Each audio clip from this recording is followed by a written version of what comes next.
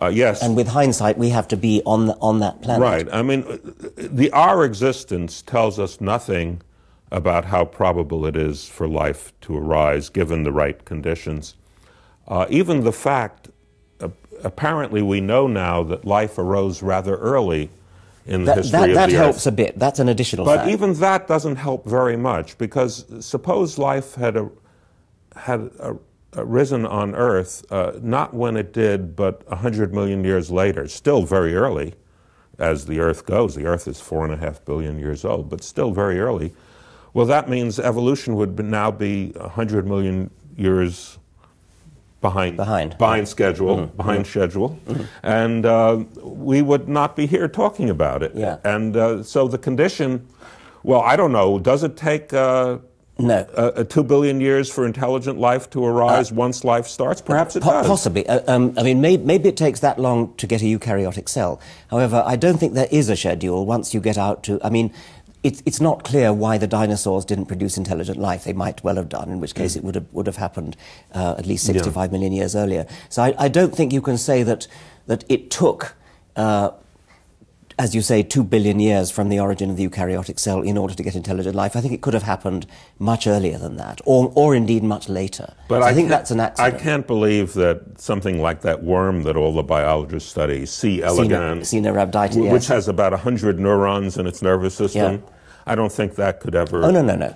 Uh, but uh, I mean, that, think that's a multi-celled organism with Yes. a nervous system, Yes. but it, it, it no, still is not going to learn quantum is- mechanics. There's no, there's, there's no timetable in the sense that. Um, 65 million years after the dinosaurs went extinct, only then had evolution No. kind of breasted the tape of, of it. It could have happened 10 million years earlier or 10 million, million years later, or well, it, it may be that uh, we're on the, the tail of the Gaussian. That is, uh, it's very improbable that life arose as early as we did, as it did after the formation of eukaryotic cells. And if that's true, then there's a strong selection that it's only uh, life that arises very early in the history of the universe that has a chance of becoming intelligent. that has time before, Yeah. before the. so the, yeah. and if that's true, and we don't know that it is, but if that's true, then the fact that life arose very early on Earth does not argue that life arises readily whenever the conditions are right.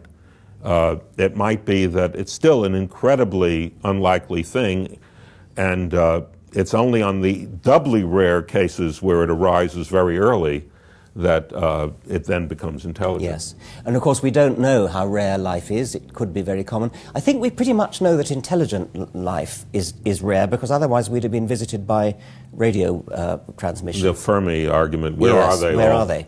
Um, and so I think you have to say that maybe there's a, a cascade of improbabilities. There's the origin of life, perhaps the origin of the eukaryotic cell or something like it, and the origin of intelligence and technology. But even And we've the- got through all those hurdles. Even that, you know, uh, we've sampled, um, in terms of how long it takes to reach us, we've sampled only a few tens of thousands of light years, even assuming people can travel at the speed of light. Yes. or that they send us signals. Um, so we've we've perhaps sampled a volume of our galaxy It's a pretty small sphere, ten isn't it? really? thousand light years, but it's only one galaxy, and Yes. there are billions of galaxies. Yeah. Uh, so it may be that life maybe occurs a few times in each galaxy, I would have thought, uh, yes, I mean, yeah. And and and then it's still quite uh, frequent.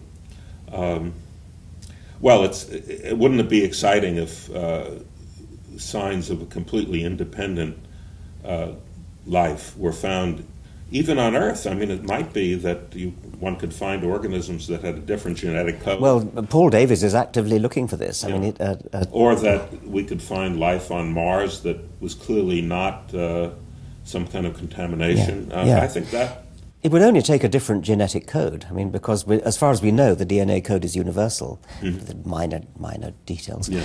But a different genetic code, either not based on DNA or based on, even based on DNA with completely different lookup table. Because our, there's nothing very att- attractive or elegant or efficient about the genetic code we have. No, I mean Francis Crick devised a much better one. uh, Yeah, whi- I heard which- that. Yes, yeah. which- What a pity. Yes, what a pity. That, Uh, that's right. Uh, the uh, you know I'm quite an opponent of manned spaceflight, uh, not because I think it's bad in itself, but just it's incredibly expensive and it's sold as a way of doing science, and I don't think it is a good way of doing science.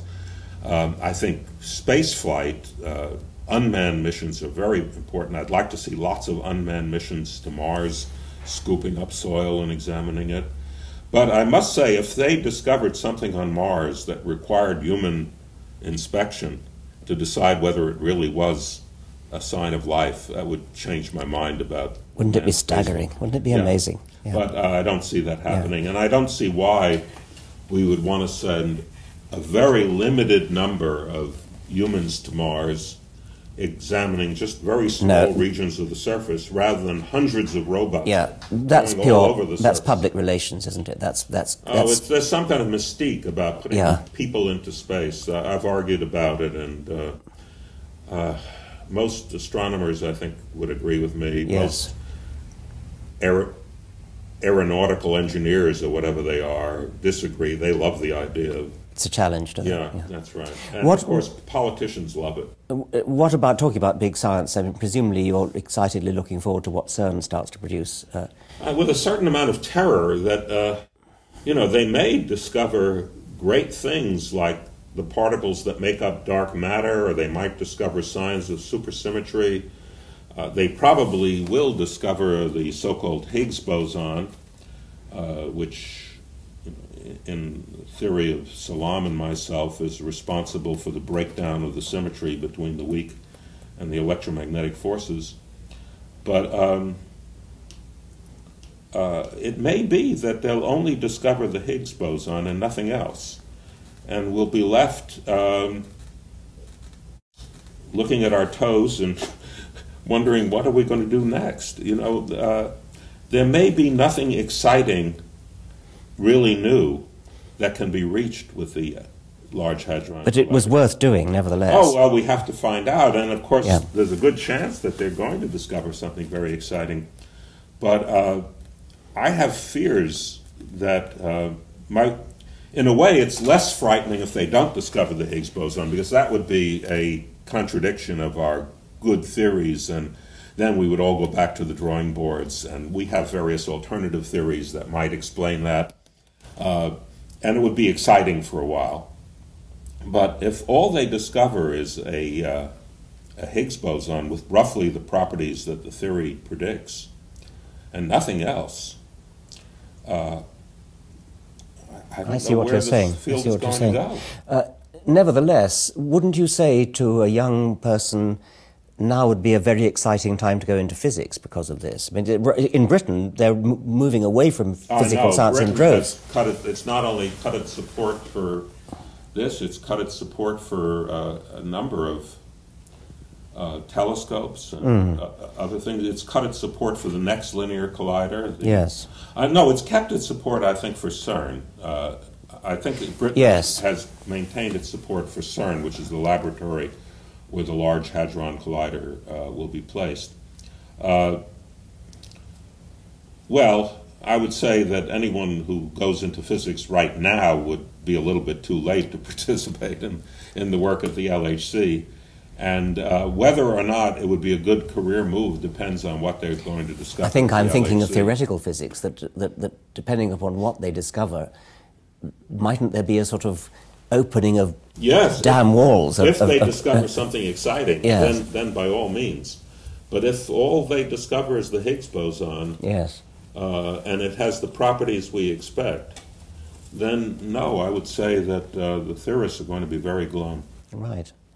Um, a moment ago, you, you mentioned um, Abdus Salam. Yeah. Uh, can I ask, was, was he one of those who was a genuinely religious? I mean, I've heard it said he was a devout Muslim, and I've always wondered about Well, that. Well, when I first met him, I visited Imperial College in the academic year 61 62.